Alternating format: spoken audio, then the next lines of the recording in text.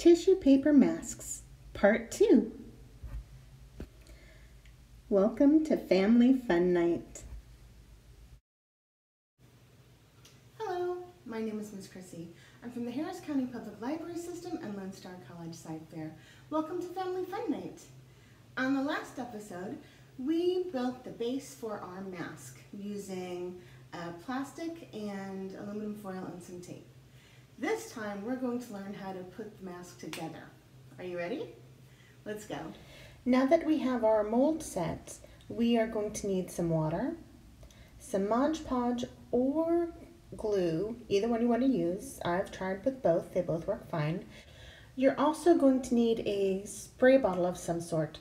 I used an old hairspray bottle that I um, cleaned out really well. There's no exact measurement for this part. I've always sort of done it by sight or feel. I fill up the bottle about one half way full. I don't want it too full because we are going to need to shake it. So about halfway full. Um, less if I know that my project is going to be small. Next, I'm going to put about half as much glue in. You can use glue, you can use Mod Podge, you can use a combination of both. I started out with glue and then later I added a little bit of Mod Podge. After you get it all together, you are going to shake it, shake it, shake it. I highly recommend that you cover your working area with some plastic or wax paper or something so that you don't get the glue mess all over the place. I did not do this. Next step is going to be tearing up tissue paper. I generally like to start with just plain white tissue paper um, because I don't like the idea of paper with dyes where it might touch my face later should I decide to wear the mask. Just rip up the paper. It doesn't have to be even. It doesn't have to be neat. In fact, it lays better when it's not even and straight.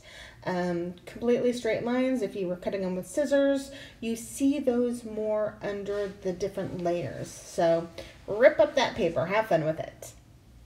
The reason I chose foil to go on top of the plastic is that um, I will be spraying a water glue mixture over it and I found that it's easier to pull this off once it's dry um, on aluminum foil. Now we are going to be laying layer after layer of um, tissue paper on. So put one on, then squirt it till it is soaking wet. Um, this bottom layer doesn't have to be pretty at all. A lot of times the bottom layer actually gets ripped off when you take the mold out. So just layer upon layer. Um, put it on, soak it down with your water glue mixture, and keep going until the bottom is completely covered. After this, you are going to continue to layer on more tissue paper. After it's completely covered, you're going to go on again with another round of tissue paper water glue solution. You're only going to do about three or four layers before you need to let it dry. Let it dry completely. I usually walk away for and come back another day or I can use a hair dryer. Either way, but you have to let it completely dry, otherwise it gets soggy and can turn moldy. And now it's time to start coloring our mask with tissue paper um, and only tissue paper. So since I want a pink muzzle on my unicorn, I am using pink tissue paper to color that section because I want my pink to be a little lighter than what I have um, and I want to give it a slightly translucent effect, I am going to go over the pink with more white tissue paper. This is the final form of what we've been doing with the unicorn mask. So now we're going to carefully and gently take it out from the foil. So slowly and carefully wait till it is completely dry. Slowly and carefully pull it out. So here's the form that we made. And the inside just has a little bit that we're going to carefully pry out. Now, my original masks were made a little thicker. This mask is lighter than this mask, but because I did not use nearly as many layers for this one, it's a whole lot thinner and a whole lot lighter. The positive thing about making a heavier mask is that it will last longer and it'll be more sturdy. This one is very flimsy but very light. And I have the finished product. What you can do with this is you'll take scissors and trim it up. I will be putting in eyes right here and I'm going to show you how to do that. You can either use scissors to puncture through or um, make sure that a grown-up is using an X-Acto knife. Usually, and with the other ones, I made sure that the eye holes were in there first. For this one, I waited until it was a little more done. Partially because when I started the project, I wasn't sure if I wanted to do a dragon or a unicorn. But since I already have my dragon mask, I decided on a unicorn. So I'm going to use my X-Acto knife. Now if later I decide that the paper is too thin, I can continue to add more layers to it.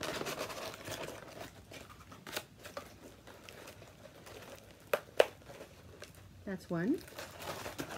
And I'm going to use this as my template for cutting out the other side.